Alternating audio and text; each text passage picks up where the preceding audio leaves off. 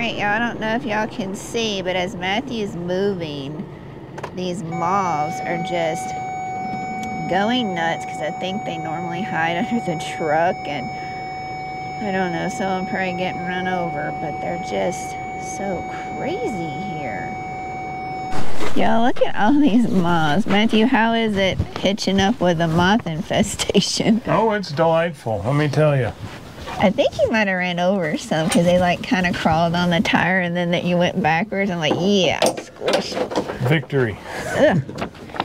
And surprise, this is Matthew's first walk around in what, five weeks? Yeah, Sean's done them all by herself. I used to do them all and he couldn't stand it, but he can barely walk. So we're gonna do our walk around and we'll check with y'all in a minute.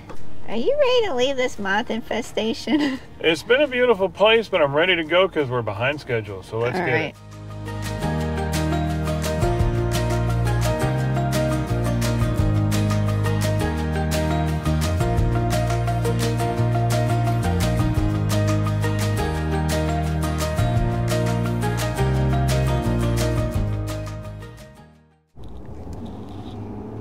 Welcome to Denver.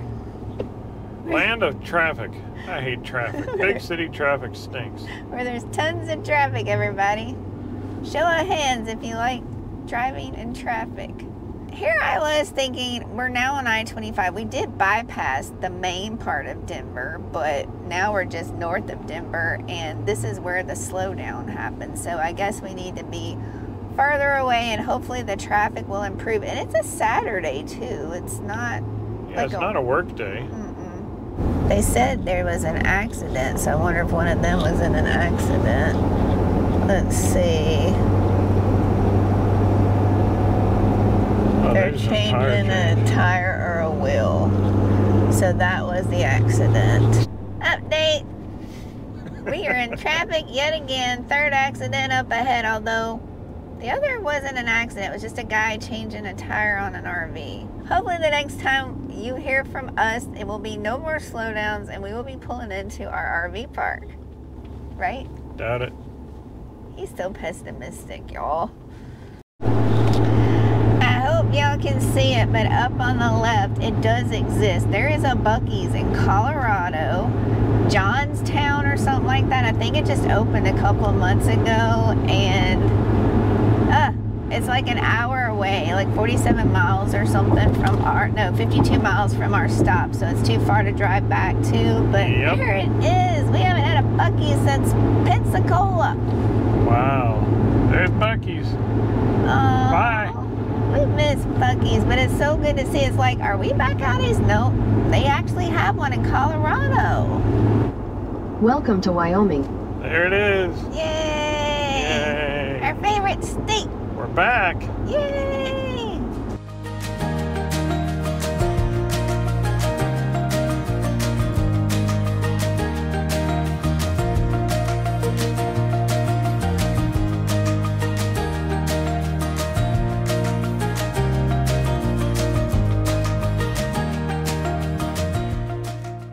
All right, y'all, our stairs got jammed again. No, we didn't take the time to fix it.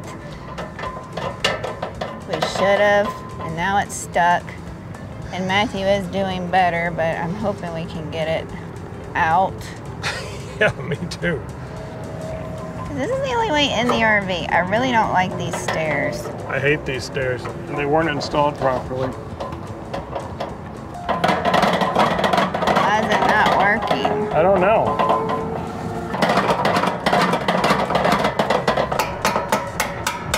By taking those out, he's able to shift the stairs because it's really jammed in there, y'all. And yeah, we messed up. We didn't fix it because this has happened a few times now.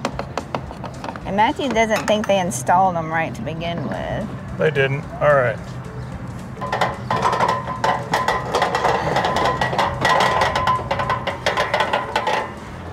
Wow, never taken our stairs down before. All right. Set, Okay. you, set this end, the feet down on the ground. All right. And how are we going to fix the other part? Now that it's outside, I can fix it. You'll just have to wait and see. now, Now what?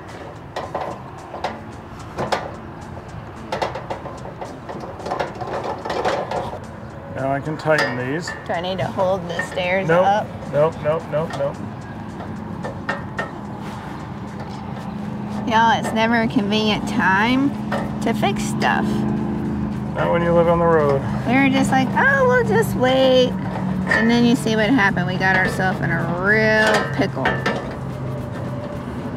Let us know if y'all have had this happen and how did you get in your RV? All right, whoever designed this designed it wrong because this isn't long enough for when you want this flap and this flap to be in the proper place. This blue thing is not long enough. It doesn't even reach this metal fin, which it needs to to keep the door from closing. So I got to put this back You mean to keep the stairs? keep the yes keep the stairs so you got to find a happy medium a compromise all right come look at this this should be enough to keep the stairs from going where they don't belong and this still works if they would take another it, that took me five seconds to figure out. If they would take another five seconds to get this right, then we wouldn't have been suffering with this for three years. Yo, I need to get my vacuum hose, which means I need to bring the vacuum outside, Yep. put the stairs up, and then We have an electric thing right over there on the side that we've never ah, used. Oh, plug it up over there. I don't know if y'all can see, but they have like a little carousel of dogs over there in that little fencing area. I think there's four. Watch your shoulder. And they were happily greeting us when we pulled in. All right, that works. Good.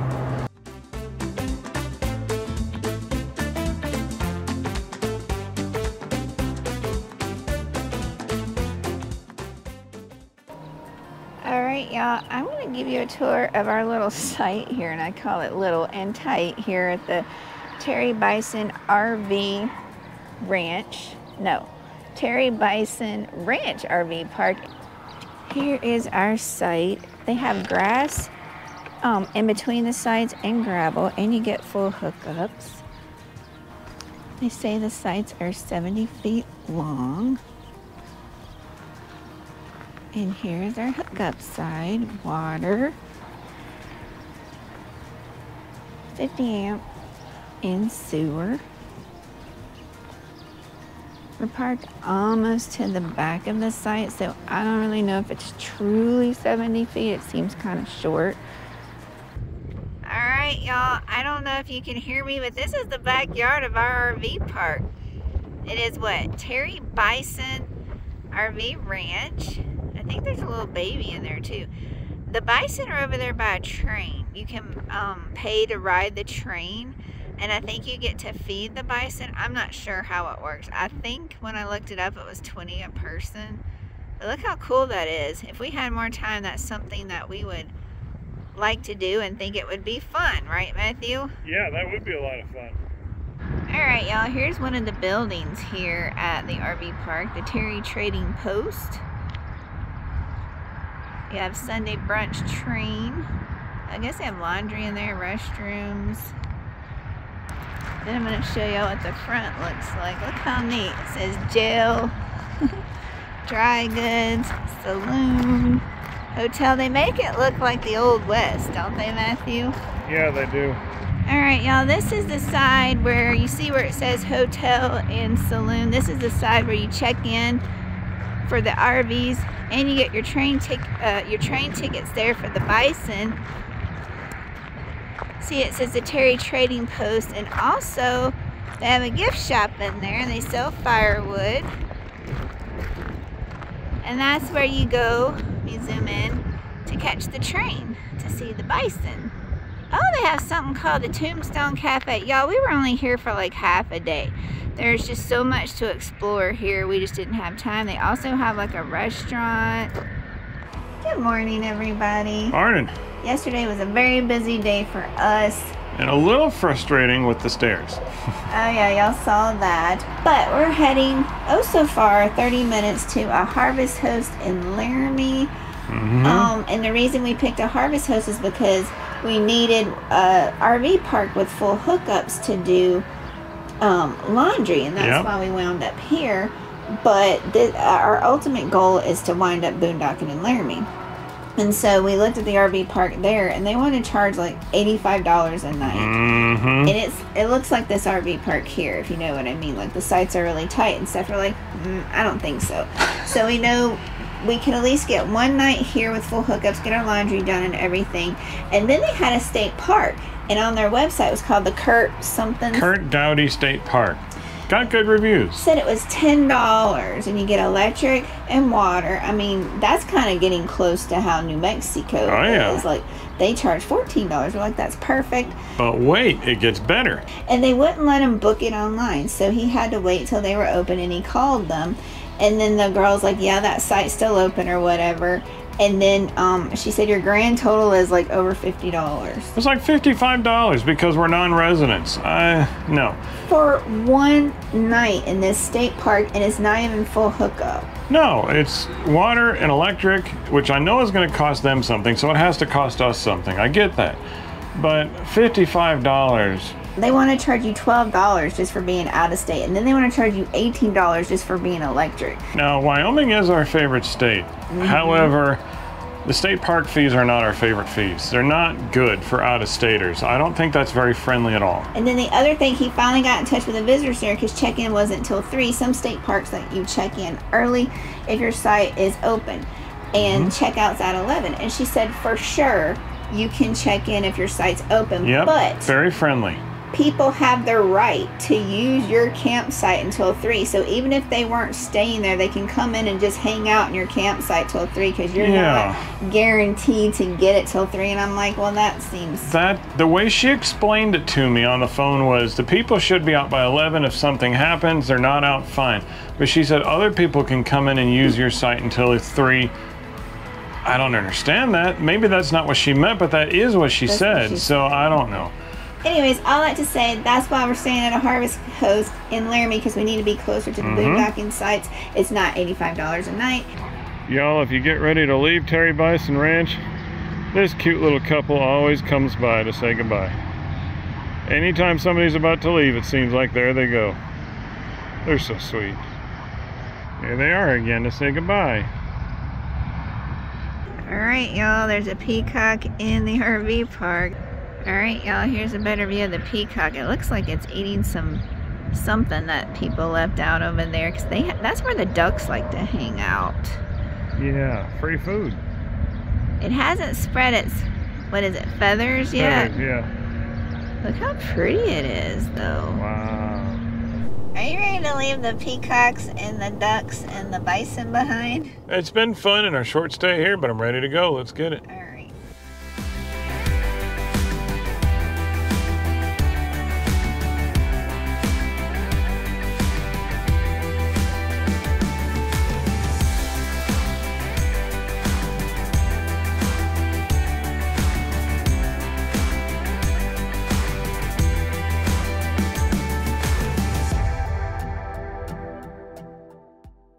All right. All right, y'all, we made it to our harvest host. This is Prairie Grass Ranch in Cheyenne, Wyoming. And this is our spot. She said we're the only ones as of right now that's here. She let us in the gate and she told us where to park where it would be level. So let me um back up so y'all can see. There we are. There's our little barn and house over there. She said park closer to the fence where it's more level because I don't know if you can tell as you get closer to the blue bucket, it gets more humpy. Here is this side.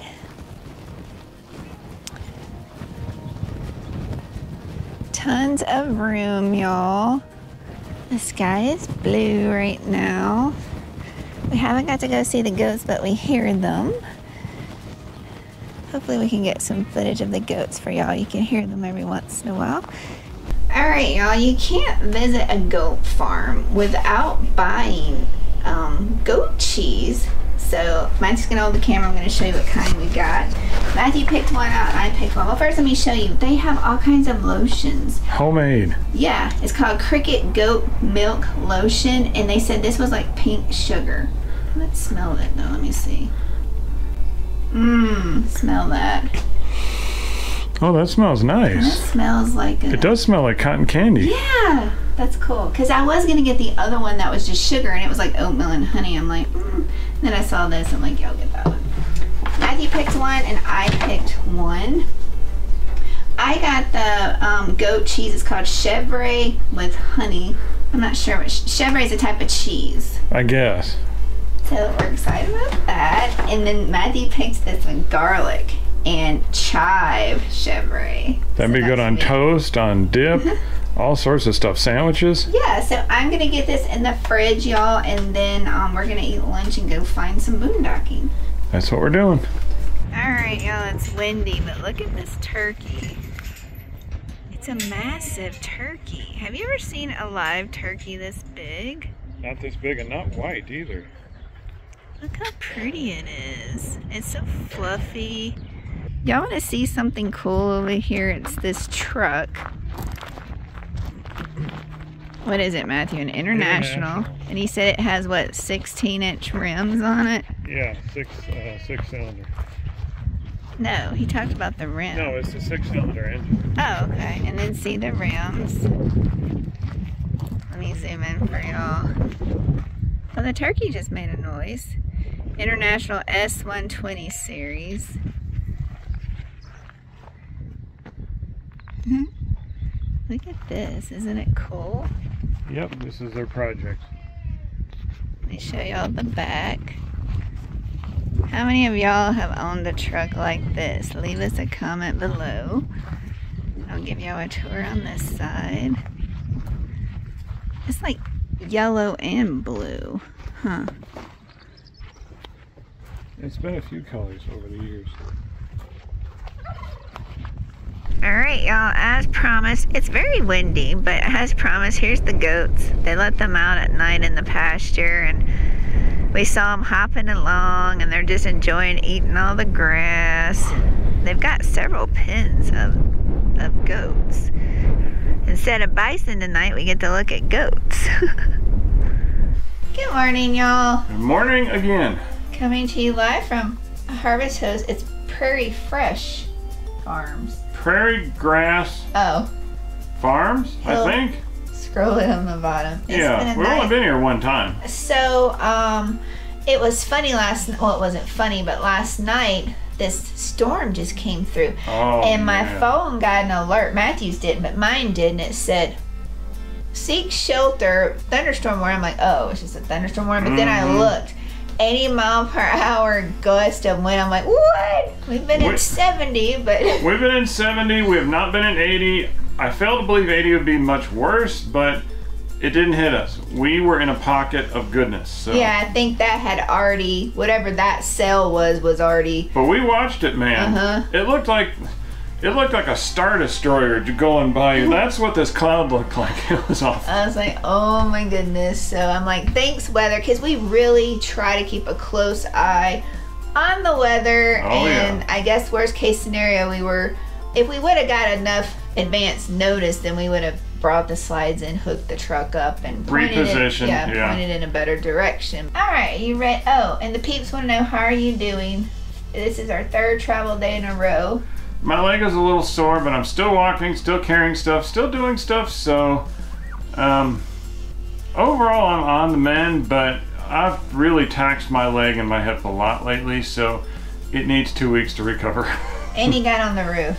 I told- got on the roof. I yeah. told him not to, but he said I was slow, so he got up there and cleared the roof. Yep, gotta get it done. You ready to to go? go? Yes. We said at the same time. Isn't that kind of neat? All right, let's go. Can we do it again? No, let's go. Ready? One, two, three. Are you ready? Yes, I know. Let's go.